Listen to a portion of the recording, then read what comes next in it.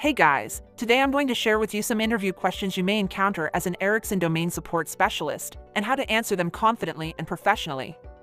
Before we see the question and sample answers, I suggest you to hit that red subscribe button and also hit one like to this video. I am requesting because this gives us motivation when you interact with us or you like our stuff. Now let's get started. Question 1. Can you describe your experience in domain support?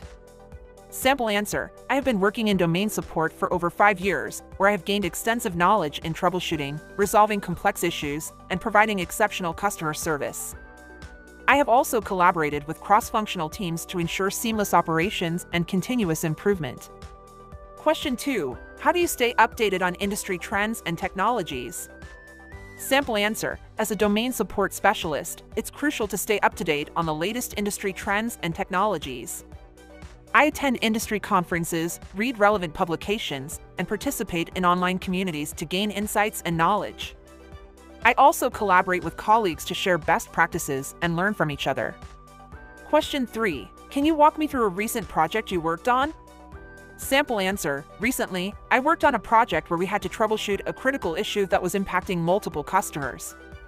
I quickly identified the root cause and collaborated with the development team to implement a solution. Through effective communication and collaboration, we were able to resolve the issue within a short time frame and prevent any further impact on our customers.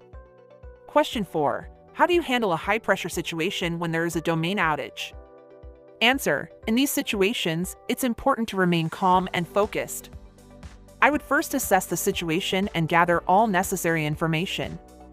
Then, I would work with my team to quickly troubleshoot and resolve the issue while keeping all stakeholders informed. Question 5. How do you handle difficult customers or situations? Sample answer As a domain support specialist, dealing with difficult customers or situations is inevitable. I remain calm, empathetic, and professional while actively listening to their concerns. I work collaboratively with the customer to find a solution that meets their needs while also adhering to company policies and procedures. If necessary, I escalate the issue to management for further assistance. Question 6. Can you explain your experience with network protocols? Sample answer I have extensive experience with network protocols such as TCP/IP, DNS, DHCP, and HTTP. I understand how these protocols work together to create a seamless network infrastructure. Remember, confidence and professionalism are key when answering interview questions as an Ericsson domain support specialist. Thanks for watching.